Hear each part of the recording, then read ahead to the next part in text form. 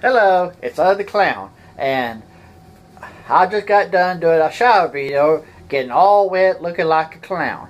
And one of the reasons I'm going to do that is to show people that I'm willing to take out a new era in my clowning. And I go do stunts like, uh, uh, like uh, water dunking, pie throwing, and the other kind of small stunts I would do for entertainment and gags. So I'm just experimenting, and if you seem to like what you've seen, well, I'll go add that to my list of things on parties and shows.